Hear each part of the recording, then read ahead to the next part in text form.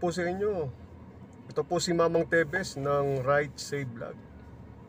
Narito po ako sa parking area ng Terminal 2. Sa ngayon ay inaantay ko ang aking ah, arriving na magmumula sa Terminal 1. Siya ay nakasakay sa flight ZZ3091 galing China. Kaya ito mga tol, inaantay ko ang tawag niya para masundo ko siya sa Terminal 1 at ihatid ko siya sa Grand Valero Hotel. Kaya mga tol, i-off ko muna ang camera ha. Mamaya na lang uli pag nandyan na siya. Bye! A few moments later. Okay guys, uh, around 12.36 na, hindi pa tumatawag yung guest ko sa arrival. Uh, sabi sa akin ng boss ko, uh, ikutan ko na lang doon sa Terminal 1, kaya pupuntahan ko na. Sige guys. A few moments later.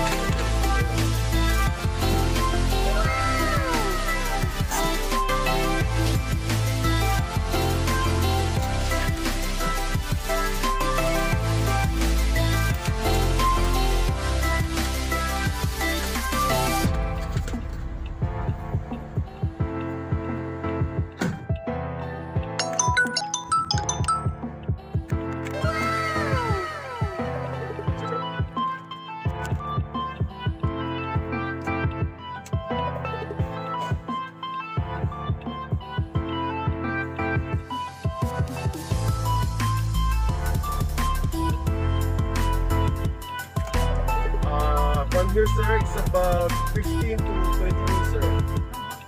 Yes, sir.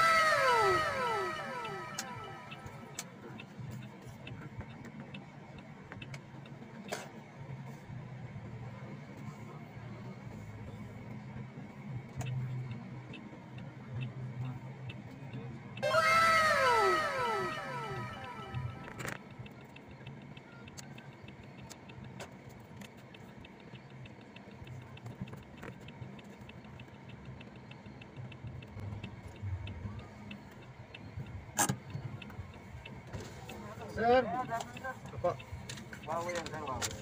Mr. Suyong. Yes, sir. Touchdown, Grand Valeros.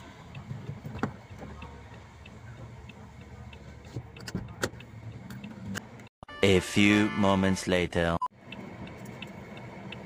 Okay, mga tol, ah naihatid ko na po yung aking ah, pasahero dito sa Grand Valero. Bali, pabalik na ako ng ng nayon uli sa parking area namin. Okay? A few moments later. Bueno,